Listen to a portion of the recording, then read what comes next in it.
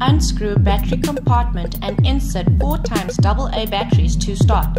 Please note, batteries are not included.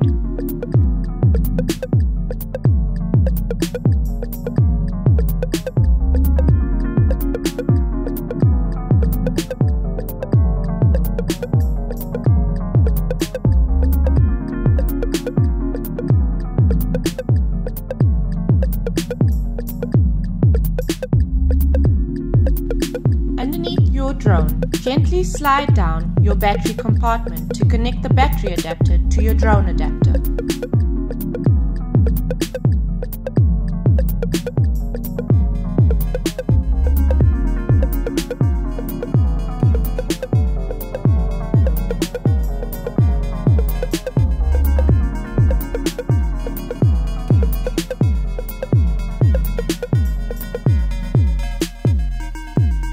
Insert a 8GB SD memory card at the back of your drone. Please note SD card is not included.